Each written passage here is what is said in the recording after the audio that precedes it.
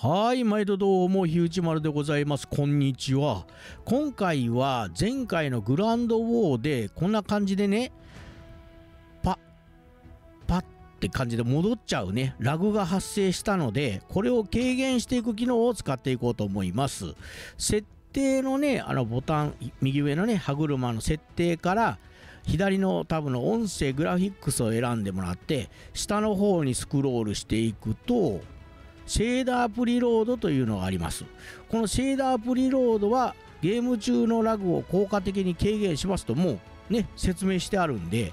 もう分かりやすいですね。もうここをだから押してもらって、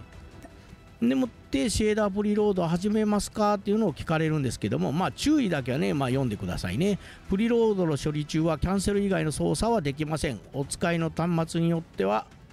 えー、と2分から5分かかる場合があります。早期終了してもプリロードは再開されますっていうのをね見ていただいてそれでもってここで開始を押してもらうとプリロードのやつが始まるんで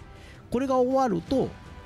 こういう風にね完了とゲームを再起動してくださいって出るのであとは再起動するだけでラグがだいぶ軽減されると思うのであのカクつきとかプチフリーズとかああいう風なねあの巻き戻すような感じのね、うん、ラグが起こった場合はこの機能を使ってラグを軽減してみてください。ではまた次回を待て。